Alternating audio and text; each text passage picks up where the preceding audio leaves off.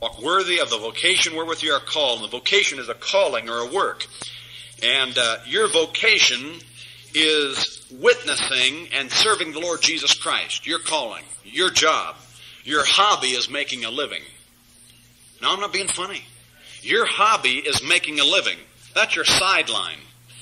And uh, talking to David today, David and I were talking. He says, "I come to church four times a week. Now I'm coming to men's prayer meeting at the Bible study." He said, "Can't we have more church?" He wants more church. Hey, that's a blessing, isn't it? Amen. He just he, he said, all I live for Sunday, and then I think, oh boy, Monday and Tuesday, but church is Wednesday. He gets all happy, and then Thursday, Friday night Bible study. He's got something to look forward to, and then he said, oh, then a Friday, but then it's real quick, just a short space. Then I got Saturday night men's prayer meeting, and then Sunday it's all day long. I get it all day long. I thought, that's blessing. That's good. He's got a first love. He's excited. He's, the word's getting in him. He wondered if something was wrong with him. No, man, so that's good. That's something right with you. But he it says here, uh, I beseech you therefore to walk worthy of the vocation wherewith you are called. And uh, like I said, your job is witnessing, and your hobby is making a living. Now, I mean that. I mean with all my heart, I believe that. Verse 2, with all lowliness and meekness. The Lord had to say that, didn't he? with all lowliness and meekness, with long suffering, forbearing one another in love. Forbearing means putting up with each other. And so he says with lowliness and meekness, humility, Ephesians 4. Ephesians 4, with all meekness and uh, lowliness and long suffering and forbearing. You know, Christians need to be able to put up with each other. I mean, listen, that's going to be the place where the devil gets in to mess us up. And we just get kind of, just kind of rub each other wrong. You know why people, Christians rub each other? They got convictions. They believe something. They say, well, the Baptists are always splitting. Well, because they believe something. You never heard about the Lutheran splitting and the Methodist splitting and the Catholics. You know what I mean? You don't hear about that. They don't believe anything. Episcopal, they don't believe anything. But we believe something. So that because of that, you need to forbear with one another, put up with each other, be long suffering and patient, and to come in with a meek and humble mind about the thing. He says in verse 2, with all lowliness and meekness and long suffering, forbearing one another in love, endeavoring, endeavoring. Endeavoring means to work at it. You have an endeavor when you endeavor to do something, he said, endeavoring to work at it, to keep the unity of the Spirit in the bond of peace. Now, when he says unity, he didn't mean the ecumenical movement. He didn't mean the ecumenical movement. He meant the unity of the Spirit and believing the truth. You're one in the truth and in the Word of God. And so endeavoring means to work at it. We need to constantly keep in mind before and after the services, you know, when people are walking around, be very careful. You know, we always got something planned to say to somebody. Well, they just, if they say this, I'm going to say this. You know, we're ready to, we're ready just to really cream somebody good with the Word of God or slam them with some, something. You know, we're ready to do that to somebody. Always ready to say something. And that's not it. It's endeavoring to keep the unity of the Spirit, working at it. You say, but that's hard, preacher. That's hard for bearing one another and endeavoring to keep the unity of the Spirit. Well, verse 7 will help you. But unto every one of us is given grace. You say, God will give you grace to do it. And you need grace to do it. You need lots of it. He says, verse 3, endeavoring to keep the unity of the Spirit in the bond of peace. There is one body and one Spirit, even as you are called in one hope of your calling. One Lord, one faith, one baptism, one God and Father of all, who is above all and through all and in you all. He's a southerner, you all. and, uh, well, Paul, Paul, was. He's from the tribe of Benjamin. He was in the southern tribes. He's y'all. He said, y'all keep straight now. But he says in verse 4, there is one body. Now when he's talking about, we know there's many bodies. Now you've got to get this thing straight. Because a lot of people just completely go bananas when they get to this passage for several reasons. They say, see, there's one body. And people say there's no, such thing as a local church. And they abandon the local church like the two by twos, the Sparkites. They come from the Sparkites and they're real heavy in South Dakota. I was surprised they were here. And I never heard of them until I got to South Dakota. And they don't believe in a local church, taking an offering, a pastor, nothing. And uh, that's not right. They, they just believe in the universal body. I believe that. But I also believe in the local church. I believe in heartily. It's right. There's offices of the local church, and there's a type of collection. There's a pastor. There's a place where you get together and preach the word together, and it's right. The church that met in their house. And there's a local churches. So when it says one body, it's talking about the body of Christ. For example, for by one Spirit are you all baptized into one body. And how do you get into that one body? By the baptism of the Holy Spirit, not water baptism. And these other Baptist preachers just crack at this point and they say it's water baptism that puts you in the local church. And they say there's only the local church. And if that's true, then the local church is the bride of Christ. And if that's true, then when the rapture takes place, just the people that have been baptized into a local church and members of the body go up. And there's a split rapture. And the other ones stay behind. And that's just, I mean, that's how you have to take it to its logical conclusion. And that's wrong. Verse 4, there is one body and one spirit. Now we know there's many spirits. But there's one important one. We know there's many bodies, but see, those many bodies make up one body, which is the body of Christ. And so there's one body, there's one spirit, even as you are called in one hope of your calling. What is that? The hope is always the second coming. Looking for that blessed hope of the glorious appearing of the great God and our Savior, Jesus Christ. Titus 2.13. One hope of your calling. Now, when he says one spirit, notice he says one spirit, and then he comes down verse 5, one Lord. Now, you know what Bible says in uh, a 1 Corinthians 8:5? There's many lords. 1 Corinthians 8 5 says there's many lords. You can read it sometime, 1 Corinthians 8 5. But here it says one Lord. What's that mean? There's one you better have. And there's a bunch you better avoid, is what he's saying. One Lord, one faith. You've heard people say there's many faiths. Yeah, but there's one you better have or you go to hell. You see, there's many faiths. And when somebody says, oh, there's a lot of faiths, well, then that's the time to say, there's one faith. And you better get the faith. And fact, take the book of Ephesians to show it to them. Don't go far. Just turn one page. Say, here's the faith, for by grace are you saved through faith. That's the faith. It's there's one Lord, one faith, one baptism. one baptism. When I say baptism, I'm kidding the Campbellites and the water dogs because they always say, repent and be baptized. They can't even say it right. You know the Lord messes up your speech when you're a heretic and you can't talk right. I'm, t- you can tell a heretic he can't say it. He says, he'll say Holy Ghost, Holy Ghost, Holy Ghost. He can't say Holy Ghost. He got to say Holy Ghost. Be, be baptized in the Holy Ghost.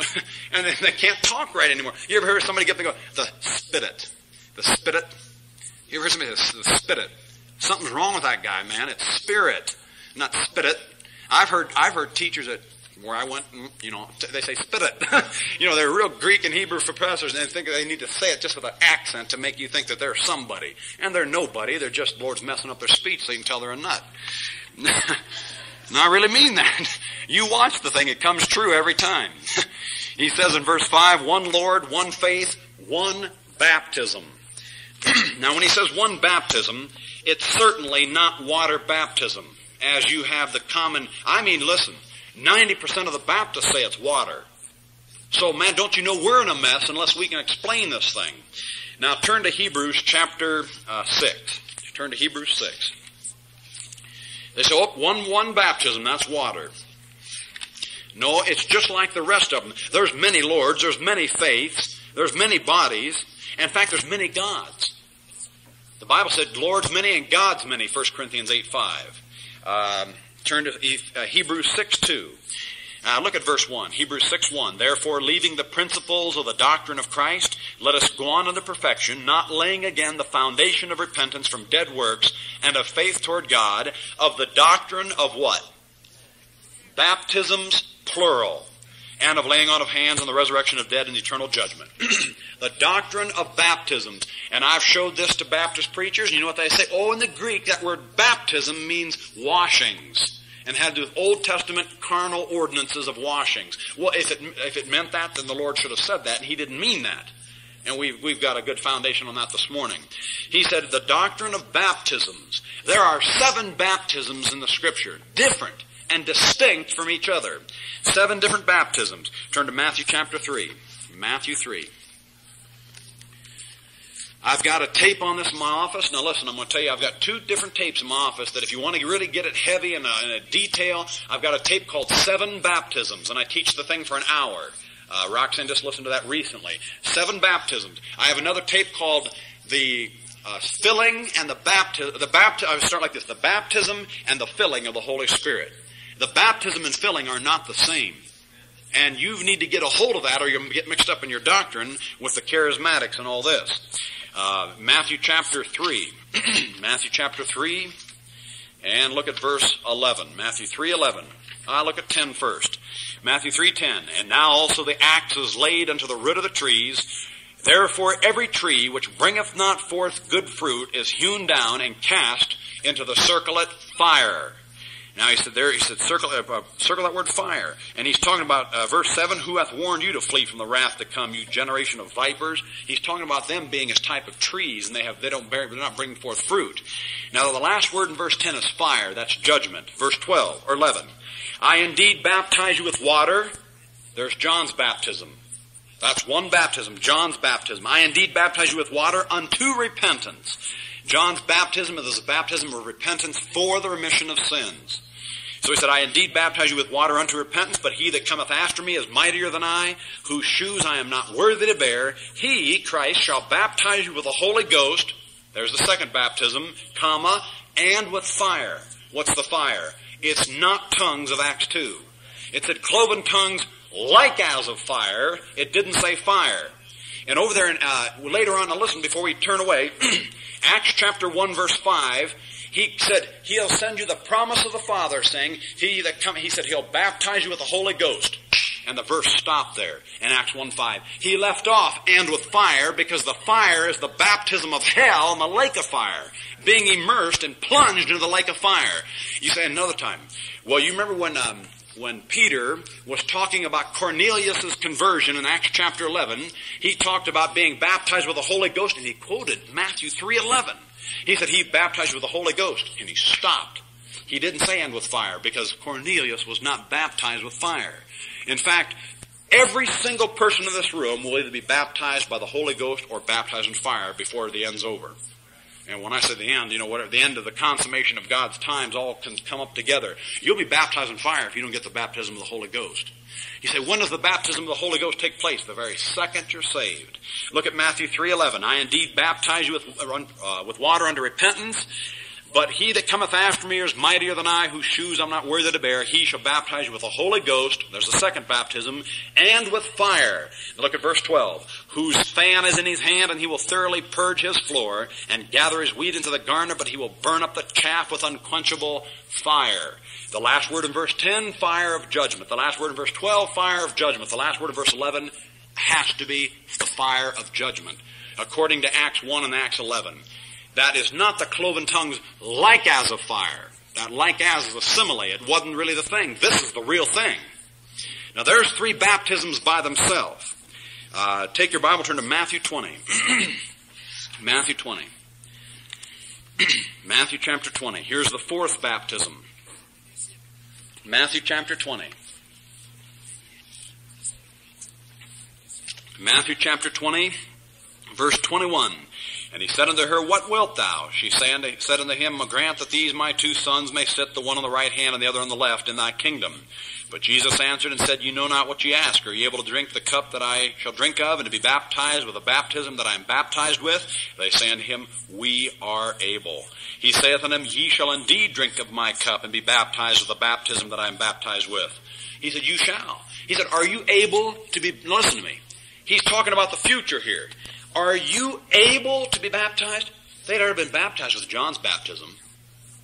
You see, anybody to get in the ministry of Christ had to be baptized with John. He said, beginning from the baptism of John until the taking up of Jesus Christ into heaven, Acts chapter 1, to be an apostle. From the beginning of the baptism of John, these men have already been baptized in water. He's talking about the baptisms of sufferings. And they were suffered. Peter was crucified. John was put on the Isle of Patmos, boiled in oil. James was Peter, James, and John. Or this is John and James, I should say. John and James. James was killed in Acts chapter 12 with a sword. And John was put on the isle called Patmos for the Word of God and the testimony of Jesus Christ. Now that's the baptism of suffering. And we, we, like I said, in the tape on seven baptism, I go into great detail and show that through the Old Testament. David went through that also. Uh, turn to Matthew 28. Matthew 28.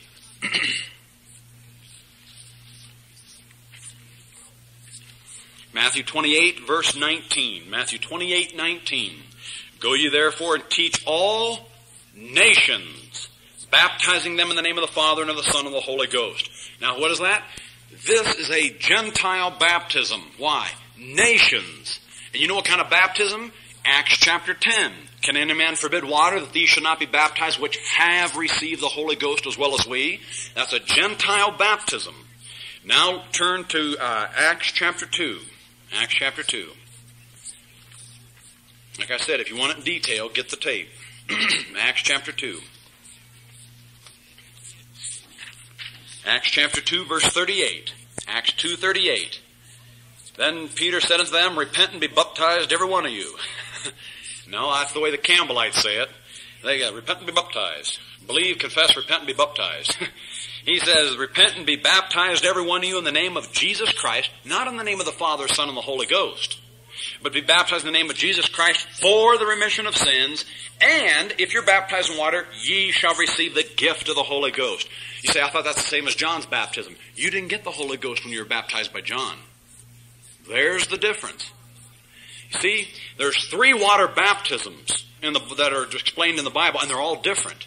There's John's baptism, there's a Jewish baptism, and there's a Gentile baptism. All water. And there's a Holy Ghost baptism, which is Holy Spirit baptism, same as what we're talking about in Ephesians 4. There's a baptism of fire, there's a baptism of suffering. Turn to the last one, 1 Corinthians 10. 1 Corinthians chapter 10. Now, get your questions ready for the end of the service here. 1 Corinthians 10.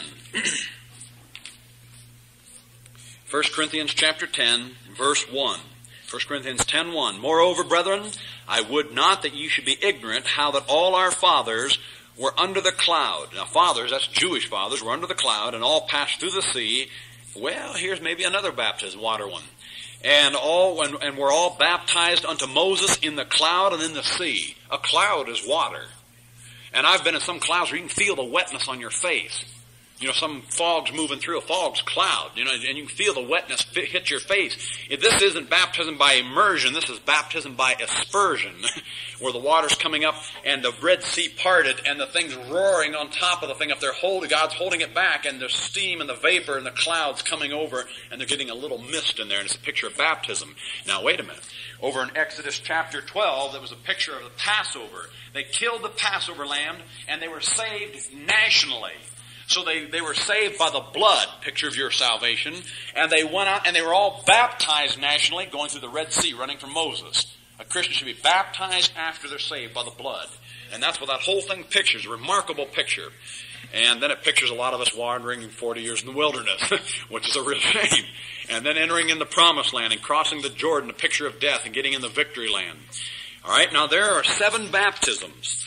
And you see that clearly, he says in uh, Hebrews uh, 6 2, leaving the doctrine of baptisms. Now, is Paul in error when he says one Lord, one faith, one baptism? No, we've already seen that there's many lords, many uh, gods, and there's many bodies, and there's many faiths. And, but see, there's one baptism you better get. Now, out of all those seven baptisms, which one you think you need? The Holy Spirit baptism. And that takes place in salvation. That's not minimizing water baptism for the Gentiles. That's not minimizing that at all because Paul said, Paul did baptize, 1 Corinthians chapter 1 and Acts chapter 18. He did baptize in water. Alright, now let's look at this uh, Holy Spirit baptism. Turn to Romans chapter 6. Romans 6. now the passages I'm about to take you to, 90% of the Baptists, easy. That's not an overstatement. 90% of the Baptists believe that Romans chapter 6 is water baptism. There's not a drop of water in Romans for three chapters in any direction. And not in this chapter by any stretch of the imaginations. Romans chapter 6 verse 1. What shall we say then? Shall we continue in sin that grace may abound? God forbid. How shall we that are dead to sin live any longer therein? Know you not that so many of us as were baptized into Jesus Christ were baptized into his death. See the words into? That's serious. Verse 4. Therefore we are buried with him by baptism. Notice we're buried with him. When I baptize somebody in water up here, I'm not, they're not getting buried with Christ. And let me tell you something else. I'm not baptizing somebody into Jesus Christ. Verse 3 says, Know you not that so many as were baptized into Jesus Christ? That's where you get put into the body. Listen, if that's water baptism, if Romans 6 is water baptism, then water baptism saves you. The baptism of Romans 6 saves, and if it's water, you're a heretic. And you know what you have to do? You have to go run to the Greek to explain this thing, is what you got to do. I've heard them do it. They say, oh, that word into, that preposition could be something else, and it could be this. It's a mess. Verse 4. Therefore we are buried with him by baptism into death, that like as Christ was raised up from the dead by the glory of the Father, even so we also should walk in newness of life. For if we have been planted together in the likeness of his death, we shall also be in the likeness of his resurrection. I knew some preachers that baptized, they would baptize, you know what I say, in obedience to the divine command of our Lord and Savior Jesus Christ, and upon your public profession of faith in Him, I now baptize you, my brother, in the name of the Father and of the Son and of the Holy Ghost, buried in the likeness of His death, raised to walk in newness of life. I've heard them say that. Hundreds of them. I'm not kidding you. Raised to walk in newness of life in Christ Jesus. And I'd like to tell you who, but I can't tell you who. I mean, there's some, I'm not afraid to say it, but I just don't, I just don't want to do it. And you don't, you're not raised to walk in newness of life, brother. You, you, you were walking in newness of life where you got in the pool. At least you better have been. That's why I say, uh, buried in the likeness of his death, raised in the likeness of his resurrection. I changed it. I don't know any preacher that says it that way, but I changed the thing because I don't think it's right. Raised in the likeness of his not raised to walk in newness of life in Christ Jesus. Made it sound like that put you in Christ. All right, turn to Galatians chapter 3. Galatians chapter 3. That baptism is Holy Spirit in Romans 6. Now turn to Galatians 3. And I'll tell you what, the Campbellites use these verses. The water dogs use these verses to prove that you uh, get saved by water. they say, what about that verse over in 1 Peter 3? Noah was saved by water. he was saved from the ungodly. The water lifted up the ark. You know, you you know what? If Noah was saved by water, if the, if the Campbellites could just prove that Noah was in a submarine, they'd have something, wouldn't they? If they could just prove Noah was in a submarine, boy, he was saved by, but he was on top of the water. The ark lifted up in the air and the water destroyed the ungodly in the world. Galatians chapter 3 verse 20, look at verse 25. Galatians 3.25. but after that faith has come, we are no longer under a schoolmaster. See the word faith in 25? You ought to underline faith. 26. For ye are all the children of God. Is that true? No, it's not true. Because I didn't finish the verse. Ye are all the children of God by faith in Jesus Christ. You ought to underline the word faith. Why? Verse 27. For as many of you as have been baptized into Christ have put on Christ. If that's water baptism, the way to get Christ on is get baptized into Christ and you put him on. But that's not it. Verse 26 and 27, or 25 and 26 has said faith. Now look at verse 28. How do you know verse 27 is spirit instead of physical? Verse 28, there is neither Jew nor Greek. There is neither bond nor free. There is neither male nor female, for you're all one in Christ Jesus. Just, you know why you're wearing clothes tonight? Well, don't say because it's cold. You, oh, you know, if it was uh, 90 degrees out, you know why you wear clothes? Because there's male and female, physically. Right here he's talking spiritually. There's ne- when you're in Christ, there's neither male nor female. So verse 27 has to be spiritually also, or you're a water dog. That's all I got to say. He says, for as many of you have been baptized into Christ have put on Christ. Is that water or spirit? Verse 28 demands it's spirit baptism. Because there is male and female physically, but not spiritually. Turn to Colossians chapter 2. Colossians chapter 2. when he says one Lord, one faith, one baptism, don't you think Paul's talking about spirit baptism after mentioning it in Romans 6 and Galatians 3 and Colossians 2? And 1 Corinthians 12, 13, for by one spirit are we all baptized into one body? He's mentioned it in four other books. When he says one spirit, it's Holy Spirit, not water. Colossians 2, verse 11. Colossians 2.11. Let's read 10. And you are complete in Him. See, once you're saved, you don't need to go seeking after the gifts. You don't have to go seeking after the Holy Ghost and tongues and everything else. Once you're saved, you're complete in Him, which is the head of all principality and power, in whom also you are circumcised with a circumcision made without hands. Is that physical or spiritual? Ah, see how that thing runs spiritual? You're circumcised with the circumcision made without hands in putting off the body of the sins of the flesh by the circumcision of Christ. I mean, women get circumcised too when they're saved. But it's a spiritual cutting away. And he says, verse 12, buried with him in baptism, wherein also you are risen with him through the what? Not through the preacher, through the faith. It's through faith. Not, you're not raised by the preacher. You're raised through faith of the operation of God who hath raised him from the dead. It's an operation. You have an operation. You, you know, you say, you'd like to get saved? Instead of asking me, you like to get saved, you like to have an operation? Scare them to death. You wouldn't get many results that way, would you? How would you like an operation? Just bow your heads. Who would want to bow their head for prayer might think you're going to operate on them. But you know, when you got saved, you were operating on it whether you realized it or not.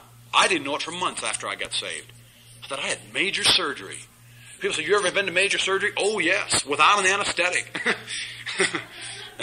no anesthetic. Uh, you have any stitches? Oh, it was a bad one. But notice here he says, he says again in verse, now watch this again, verse 11, in whom also you are circumcised with a circumcision made without hands. Listen, brother, when I baptize somebody, I baptize them with hands. I use hands. That with hands is, with, without hands is very important. So, because he says, there's no period after verse 11, buried with him in baptism without hands wherein also you are risen with him through the faith of the operation of God who hath raised him from the dead. And you being dead in your sins and the uncircumcision of your flesh hath he quickened together. When did that quickening take place? The second you got saved. Hath quickened together with him, having forgiven you all trespasses. See that bat, look, when, see, when you got baptized with by the Holy Spirit, that's the point you had your trespasses forgiven. And that don't take place in the pool. Alright, back to Ephesians chapter 4. Ephesians 4. so, verse 5. One Lord, one faith, one baptism. One God and Father of all, who is above all and through all and in you all. Verse 7. And unto every one of us is great, is given grace according to the measure of the gift of Christ. You know what a measure is? you measure something with that. Not every Christian has the same amount of grace some Christians have more grace than others. And he says in verse 7, But unto every one of us is grace given according to the measure of the gift of Christ. Uh, according, yeah, according to the measure of the gift of Christ. Christ has to measure out and says, Well, I'm going to give this person this much. I'll give them this much. You can ask for it. You can ask for more grace. He said, Let us come boldly unto the throne of grace that we may obtain mercy and grace to help in time of need. You can go to get grace. And the Bible says the word of His grace, which is able to build you up the word of His grace was able to build you up. Acts 20. There's all kind of places you can get grace if you want more grace. And He'll give it to you according, according to your faith.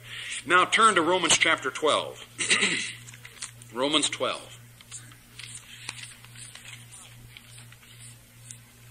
Romans 12.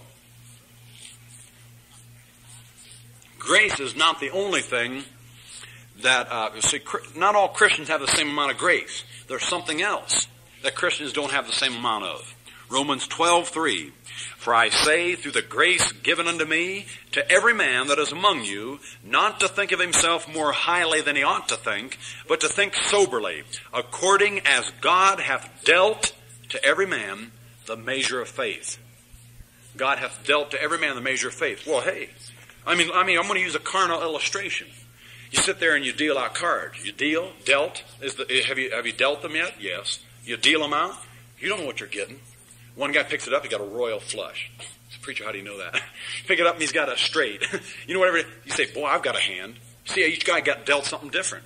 See that thing? It's dealt. He dealt to every man the measure of faith.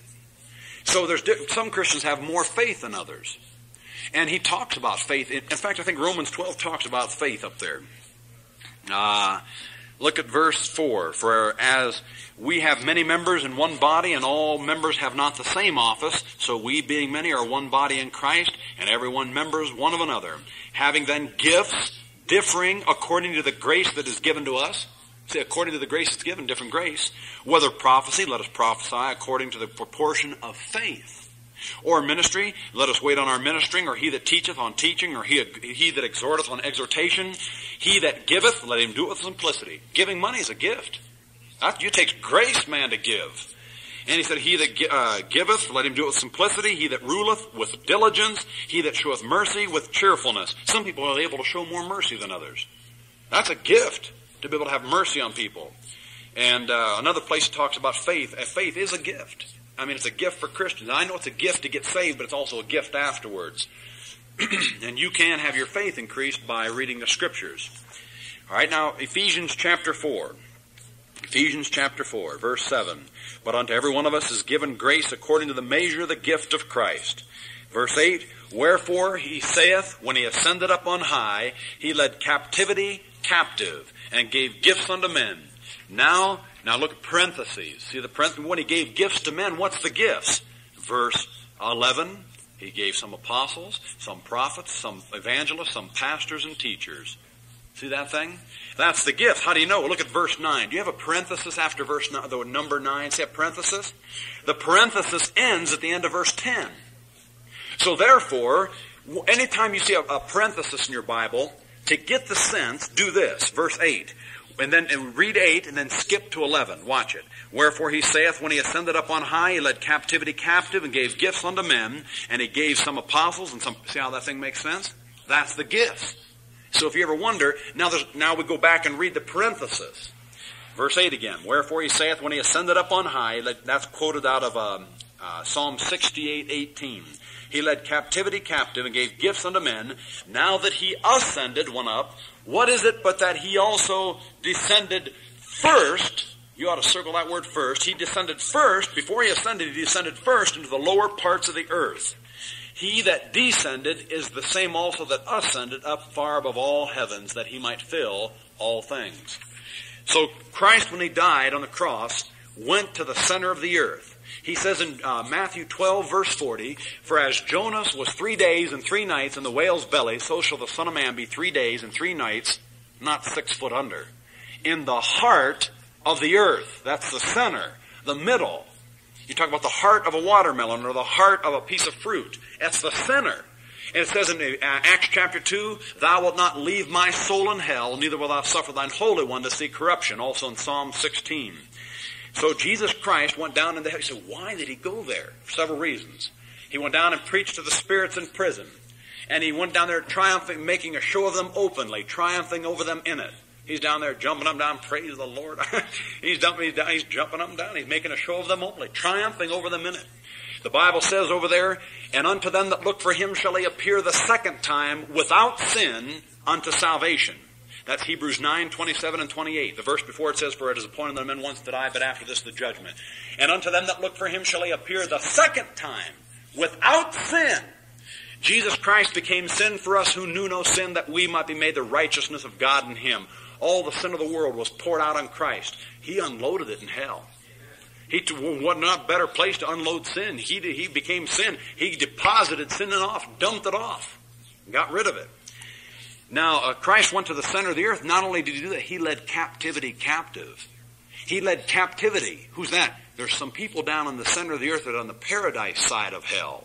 That's where the, the rich man and Lazarus in his bosom, he seeth, uh, the rich man seeth Lazarus afar off, said, Lazarus! Or he said, Abraham, send Lazarus that may dip the tip of his finger in water and cool my tongue, for I am tormented in this flame. And he said, thou, thou in thy lifetime receivest good things, and likewise Lazarus evil. But now he is comforted and thou art tormented. Remember that? You remember the story, Luke 16.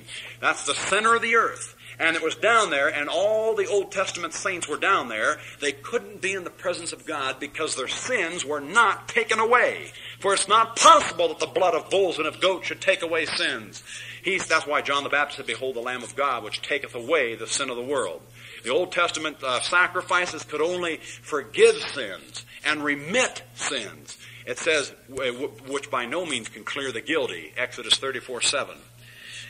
so Jesus Christ went down there. Remember when Jonah says in Jonah chapter 2, the, the hell, he said, the belly, in the belly of hell cried I, and the earth with her bars were about me. Jonah died. He went down into the center of the earth, and he said, Out of the belly of hell cried I, and the earth with her bars were about me. That wasn't the ribs of the whale, I guarantee it. That, that was talking about in the belly of hell. He was in hell. Jesus Christ said that, you see. He said he's going to die, and Jonah died. Otherwise, it's the swoon theory, and Christ didn't die. Just kind of in the coolness of the tomb, revived, and his wounds healed, and uh, he didn't really die. But he did, like Jonah did. So Jesus Christ went down and he says when he ascended up on a high, he led captivity captive. He took those captives out down there and made them captives up there. Now I wouldn't mind being a captive of the Lord. so I therefore the prisoner of the Lord. Boy, I wish he'd come get me. Take me up there. Now I'm ready to go. And so he led captivity captive. He took them up there with him. And he gave gifts unto men. Now, if you need any more on that, we'll ask questions at the end of the service. Now that he ascended, what is it but that he also descended first into the lower parts of the earth? He that descended is the same also that ascended far above all heavens, that he might fill all things. So hell is in the center of the earth. The lake of fire somewhere else. Hell and the lake of fire are not the same. Because it says, death and hell delivered up the dead which are in them. And they, the books were opened which was the book of life. And they said that they were judged out of the things which were written in those books, and if their name wasn't found in the book of life, then death and hell were cast into the lake of fire. That's a different thing. Hell is like the county jail. The lake of fire is like the state prison. It's different. You go on trial here, and then you're put into the prison. You get the death sentence. All right, verse uh, 10. He that descended is the same also that ascended far above all heavens, that he might fill all things. And he gave some apostles and some prophets and some evangelists and some pastors and teachers. Now, now notice now, these are gifts. He gave gifts unto men. And there's, there's the fruit of the Spirit. The fruit of the Spirit in Galatians 5 is for what? Character. The gifts in 1 Corinthians 12 is for power. And the gifts that God's giving here is for ministering. And I'm, I'm going to say it plainly. I don't really like to say this, but I mean, I don't want to skip over it. I believe it's true that these gifts are God's love gift to the church. These gifts are God's love gifts to the church. And that's apostles, prophets, evangelists, pastors, and teachers. Why? For the winning of souls. Verse 12. Is that what it says? Uh-uh. All right, we'll come back to that in a minute. I couldn't wait to say that. So now I said it. Now I, feel better. Let's come. let's look at some more. Verse 11. And he gave some apostles. That, now that's Jewish apostles, because truly the signs of an apostle were wrought among you in all patience and signs and, and wonders and mighty deeds. That's 2 Corinthians 12, 12. And there's no apostles today.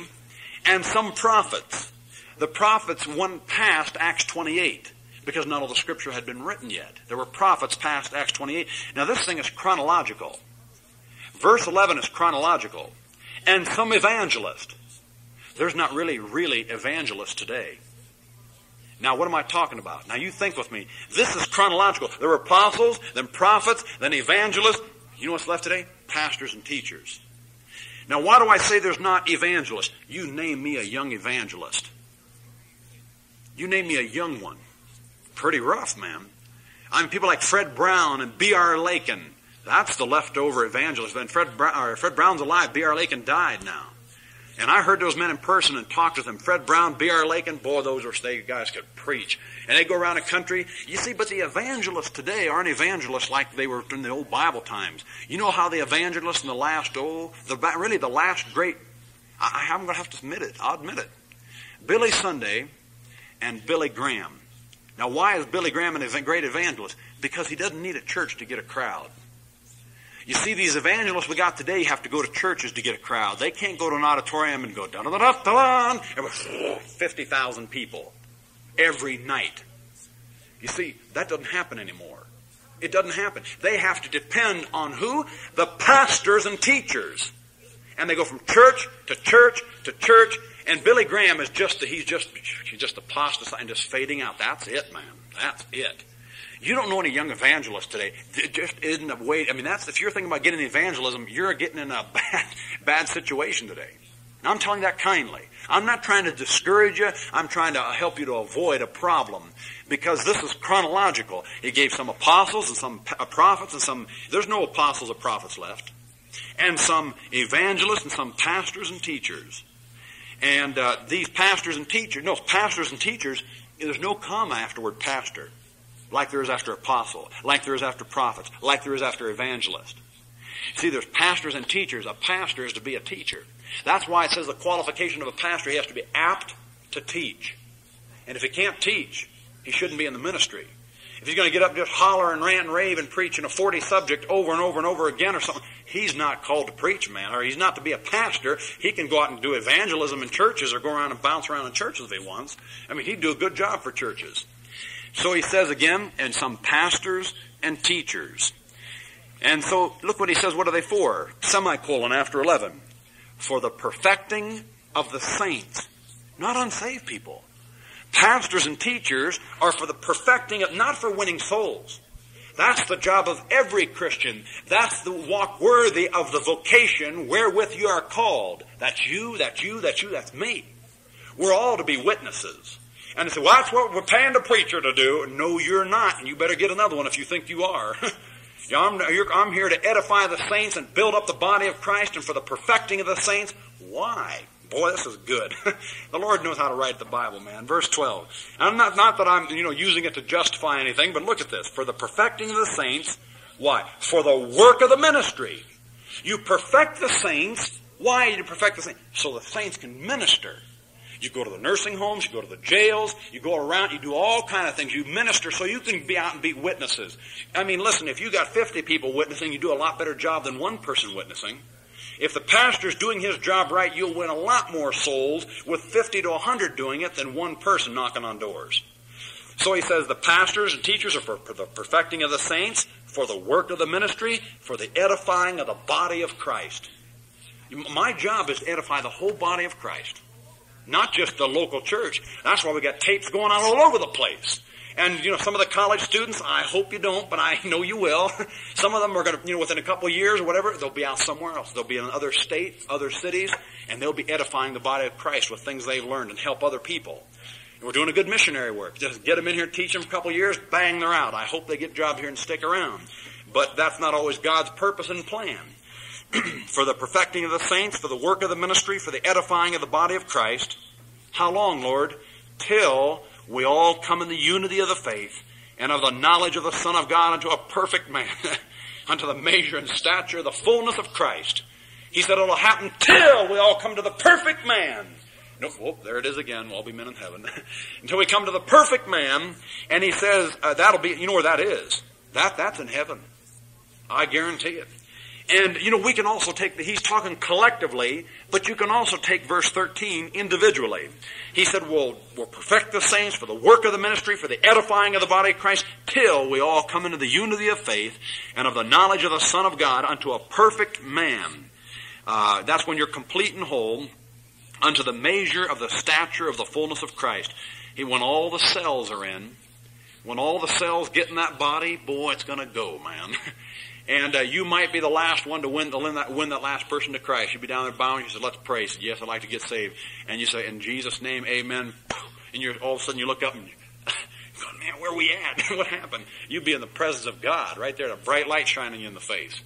Now, I'm not, you know, well, I'll just let it go. Let you, let you go with that. So when the body is complete, then the rapture will take place. That's what he said, the body of Christ, till we all come to the perfect man in the fullness of Christ. When all the cells are in, we're going to go. Uh, well, I kind of wanted to save verse 14 for later, but let's take it. that we henceforth be no more children, tossed to and fro, and carried about with every wind of doctrine and by the sleight of men and cunning craftiness whereby they lie in wait to deceive. You ought to memorize that verse. That verse is powerful. And so the purpose of a pastor is for the perfecting of the saints, for the work of the ministry, edifying of the body of Christ. Why? That would be henceforth no more children tossed to and fro. A bunch of baby, baby Christians. He's telling Christians to grow up. Grow up. And uh, you can, I mean, you, you haven't arrived yet. I guarantee it. Paul said, I, have not, I've not, I'm not uh, arrived being already perfect. Philippians chapter 3. You haven't arrived, man. You've got a lot of growing up to do. That would be henceforth no more children tossed to and fro like a ship in the water being tossed to and fro and carried about with every wind of doctrine. It's like, you know, the wind's blowing that ship back and forth in the water and it's going this way and going that way. It's out of control. You're not to be that way. You're to have control of that thing. Be henceforth no more children tossed to and fro and carried about with every wind of doctrine, hot air. A lot of preachers just blowing out hot air, spewing out of their mouth, steam, just hot air. And with every wind of doctrine, by the sleight of men. You ever heard of sleight of hand? The sleight of hand? That's a magician. The sleight of hand is like is, the sleight of men is to trick or to fool. The sleight of men and cunning craftiness. That smooth, slick talk By good words and fair speeches they deceive the hearts of the simple. Romans 16 verse 18. So he says, watch out for the sleight of men and cunning craftiness, whereby they what? Lie in wait to deceive. They're waiting for you. And you know, when you win somebody to Jesus Christ, the buzzards always show up. I'm telling you, I call them buzzards, and they're buzzards, brother. You get somebody saved, you know who shows up? The charismatic show up. And I don't give a flip who listens to this tape because I know some people that will be and they won't like it a bit. But those buzzards hang around and they don't give a flip about souls. They wait for the Baptist or somebody to win them to Christ. I've heard them call me from California. Said, "Did you visit that man in the nursing home? He was dying." And she goes, "I knew you Baptists would." She said it like that. Remember, it was about a month, two months ago. I knew you Baptists. You're always caring about souls. After I got talking, I said, "Are you a charismatic?" She goes, "Yes, I am." Oh, praise you, Jesus. And talking on the phone, she goes, "You Baptists really? I, that's right. We care about souls. They don't give a flip about souls. All they care about is." speaking in tongues and, and going around with some exotic experience. They're just, they're just selfish and carnal and, and, and proud is all they are. And you better get a hold of that, you. I'm telling you, man. Makes me mad. And you know what they do? They lie in wait to deceive. When I got saved, I worked at a hospital. When I worked there, nobody witnessed to me one time until a Baptist talked to me, Jeff Musser, and told me how to get saved. He cared about my soul. And I started telling people I was saved and witnessing. The, oh, oh, here's a book. Hey, listen to this. Come to church with me. And I, I worked, there's 2,700